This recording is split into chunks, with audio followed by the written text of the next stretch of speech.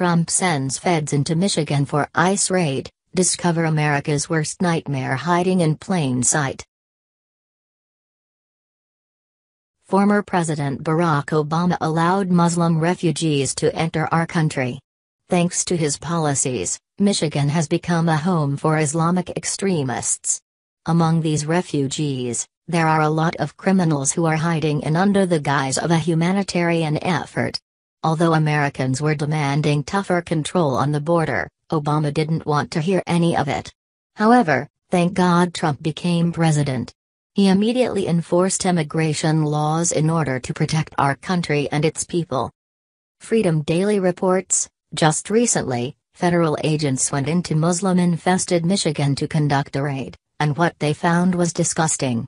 Of course, the left is losing their mind over the fact that our laws are being enforced, but it is about time.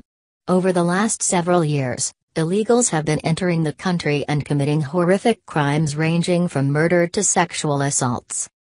A few weeks ago, ICE conducted an 11 day raid in New York and caught a lot of bad people for sex crimes.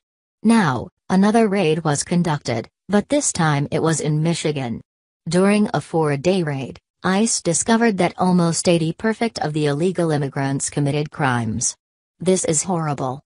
Freedom Daily reports, of the criminal convictions, they ranged from DUI, domestic battery, contempt of court, possession of open intoxicants, criminal sexual conduct, child abuse, fourth degree, child neglect, destruction of property, domestic violence, larceny, false identity to law enforcement, and attempted identity theft, among other offenses.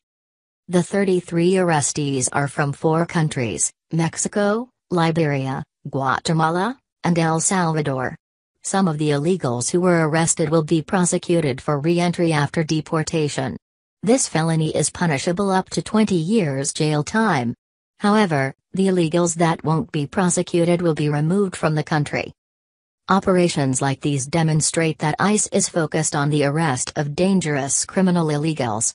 The agency will continue to protect our nation and uphold public safety. Something like this would have never happened under Obama's administration.